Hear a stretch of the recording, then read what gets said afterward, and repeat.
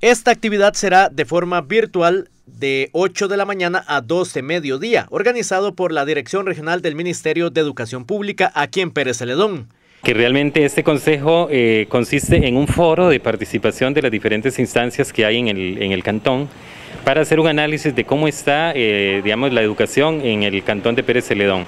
Es más que todo un foro de análisis de la realidad educativa y especialmente en ese momento que estamos con una situación de, pandemia, pues queríamos enfocarlo también en ese sentido, de cómo se ha trabajado eh, la educación y, el, el el quehacer de cada una de las instituciones. Para el director regional del MEP de nuestro cantón, esta actividad tiene detalles muy importantes. En lo que es el sistema educativo, porque a veces se piensa que la educación es, responsabilidad exclusiva del Ministerio de Educación Pública, pero creo que todos tenemos una, una cuota de responsabilidad en lo que es el sistema educativo de nuestros estudiantes. La participación es muy valiosa, agregó el jerarca. Realmente el decreto establece que pueden participar cualquier persona eh, de la sociedad. Eh, puede ser este, de forma individual o diferentes instituciones, Ministerio de Salud, el PANI, las municipalidades, las universidades, eh, el ICE, cualquier, institución puede, ser parte.